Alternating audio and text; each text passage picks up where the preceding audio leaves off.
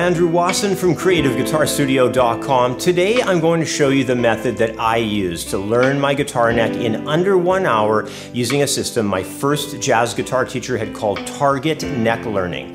Now what this does is focuses in on the guitar neck with a target-based system of not only note movement but also how the neck can be best approached when you're playing guitar and using the fretboard in different ways to perform music. Now this is incredibly valuable because most neck learning methods do not teach this. And once you know about it, you do have a better awareness for when it comes to knowing the notes and the strings, as well as using the guitar fretboard to do something really important, which is to play songs. Now, here in the YouTube lesson, we're going to start on the foundation of the target method. And in less than an hour, you'll have the basics of your guitar neck together. Then in the follow-up lesson on Patreon, we're going to take things further by focusing on melody lines and lead guitar. So let's get started by explaining how target neck learning actually works. Before we get started, I just want to let you in on how you can get yourself a copy of the Creative Guitar Studio Handouts Collection ebook. It's easy to do with any donation of $5 or more made on the creativeguitarstudio.com website.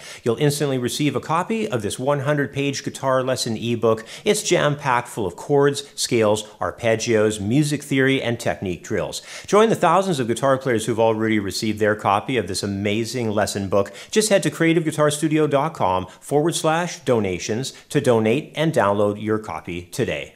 Everyone's familiar with what a target looks like. There's, of course, the bullseye and the outer rings that are for different scores, you know, when we're playing target style games. And target games will typically have a single, a double, and a triple points area along with the bullseye. But we're going to use the target as an analogy to think about our guitar neck in a different way. So this means developing our ability and our awareness of the neck through four strategies toward the bullseye. The outer ring will be for our knowledge of notes in a more technical way and not really in an applied musical way. So it's kind of like the starting point, laying the foundation. The next ring will be for our knowledge of chords and riffs on the neck because that's really the bulk of where we head to as a new student of guitar, learning about chords, playing a few riffs, that kind of thing. And then the next one is for playing composed, or what we'll often call worked out melody. A little bit more of an advanced concept. You do have to have some knowledge of scales and arpeggios to do that. But the goal area, the bullseye, will be for guitar solos, and the ultimate, which would of course be improvisation. Now, that's really the pinnacle of where we're striving to reach as more competent guitar players is to be able to just imp improvise, spontaneous melodic composition, right? So let's get our lesson started by discussing how we'll use this approach to the topics of note training and for working on playing chords and riffs. All right, so our first entry into the target area is going to be that first ring. We're going to call it the entry level, and it's all about learning the neck for the notes themselves. It does have a technical direction, but mainly it's about the notes themselves. And you can take this and transfer it all across the guitar fingerboard. In fact, the whole layout of everything that would be the perfect exercise is all contained in the handout if you're a Patreon member. So for sure, go and sign up at Patreon and you'll get an excellent handout that covers the whole neck with these studies. But you don't really need that to fully understand how the neck works because really, even in the first five frets, you're going to get all that you need. So let's talk about this a little bit. We're going to be using the C major scale because a lot of times guitar teachers say uh, C major, no sharps, no flats, no problems because C major scale has no sharps or flats. It's all natural tones, very easy to distinguish and recognize on the fingerboard, especially for that all important natural occurring semitone that we have between B and C and E and F. Wherever those notes are, there's only one fret between them. All the other notes have a whole step, which is a two fret distance. All right, so what you would do is just set those notes up on the open to fifth fret layout of the guitar fingerboard and just get to know them, become very well acquainted with them. Open E, F, G, and A, and then what we're gonna have is a very interesting thing called a unison. So that A right there on the sixth string, fifth fret, is equal to the open fifth string. They're the same note, and they're called unisons in music when you have stringed instruments because you get these identical tones coming between the strings. And we use them for tuning. That's how we tune the guitar with unisons. So there's our first notes, E, F, G, A, and then we move on to the fifth string, A, B, C, D. And and then D unison, E, F, G, G unison, A, B, C. And then we have both B and C unisons up to D and E. And then we have E unison to F to G to high A. And that covers the whole span of that area of the neck. And with that information, you can just shoot on up to the next region of the guitar and just lay everything out in the exact same way. Then from there, you can even go further and do the rest of the neck and lay out in the same way again. So this is a fantastic system. You can get this down within an hour and get to know all of the notes on the guitar fingerboard. If you want to have the full exercise, keep in mind it is available in the Patreon download for this lesson on my Patreon site. This target neck learning method's next step towards the bullseye is the ring for chords and riffs. Now, this next ring helps us understand two application concepts about the neck. And the first one are chords, which are obviously really important, and that's the bulk of what we really do as a guitar player is we play a lot of chords and we play a lot of rhythm guitar.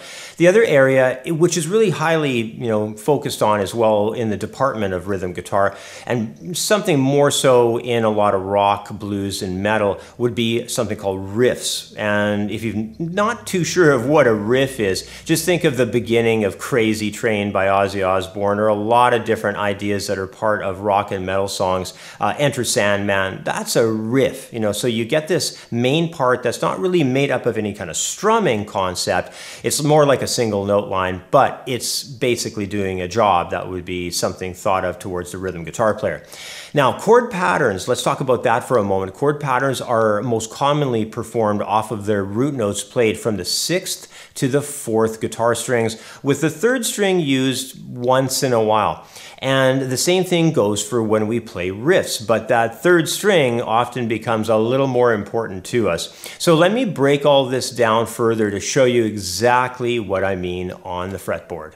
All right, so moving into this next target ring, what we're going to be doing is checking out two concepts, the chord playing area concept and the riff playing area. Now, we look at these differently because a lot of times with chords, what we're doing is we're mapping the location of the chord built you know, off of a certain place on the neck that's probably rooted in some way, you know, from our uh, fourth or fifth or sixth guitar string. So we really got to get to know those notes quite well. And the best way to do that is to take a very linear run of your notes along each of the strings that's most important to us, which will generally be the sixth, fourth, and third strings. So what I suggest doing, and what I was always told to do by my teachers, is to go from the open string and just plot out every tone, saying them as you go. So open E, F, G, A, B, C, D, E octave. So we just did one octave run from that sixth string open all the way to the 12th fret. Same thing can happen on our fifth string open A, and then the B and C, remember the natural occurring half step, we talked about that before. D, F, another natural occurring half step. G and A. Notice how we do that linear work and we're really getting to know the names as they travel in a more horizontal fashion along the guitar. Last one here, D open string, fourth string open, E and F, natural occurring half step. G and A and B and C, natural occurring half step there. D note up on top. So isn't that great? You know, we can just use a nice quick system to move along the string sets and get all of our chord uh, root notes organized. If we want to do some chord work later, we could do that. But you know, if we're not at that stage of the game yet, at least you're going to start having your note names together. Uh, on the two most integral strings in the beginning for even a beginner would be the sixth and the fifth strings, and then even the fourth could come later. Now, the next area of work is really kind of a continuation of where we just left off from the chording thing. But what we're going to do at this point is just add on the third guitar string because a lot of riffs that we would play You know, it doesn't matter what it is, even a simple boogie.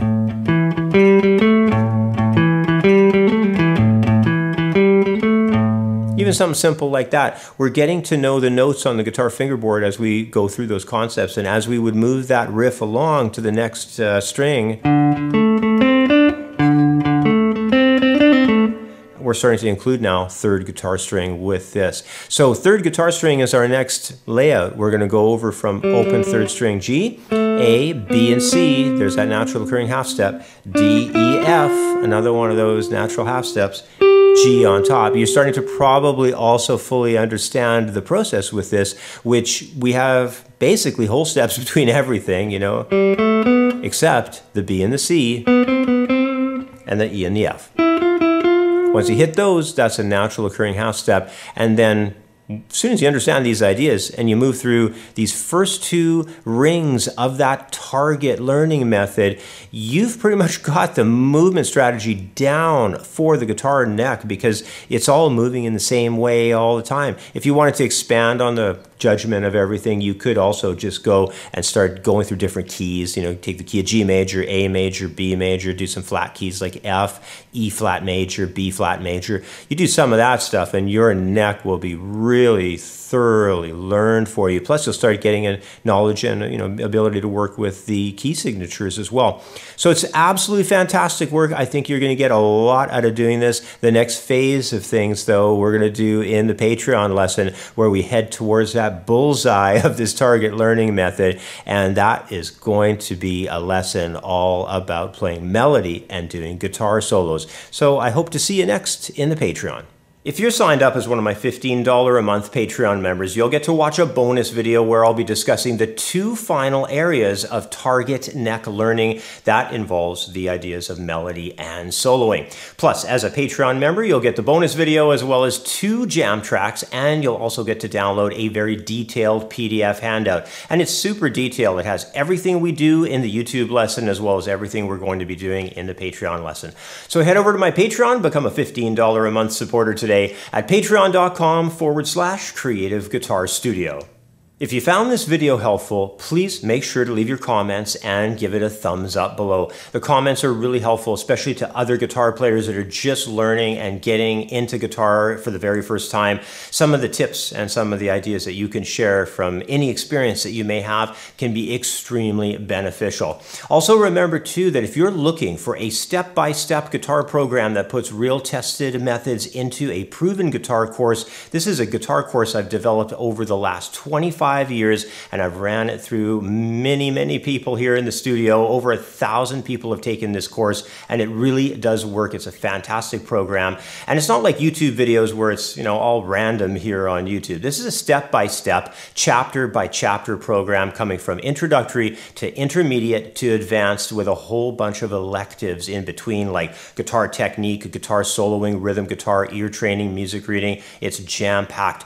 Go check it all out over at creativeguitarstudio.com. You can get in and look at everything with a free membership. Plus, there's a whole bunch of stuff that you can download and do with that free membership as well. Go check it out, creativeguitarstudio.com. Plus, on top of all that stuff, you're going to want to make sure you're seeing all my guitar lessons here on YouTube. So go and turn on the notifications, ring that bell, and subscribe to the channel. All right, guys, I'll be back here again real soon with another video. Thanks for watching, and we'll see you again next time. Bye for now.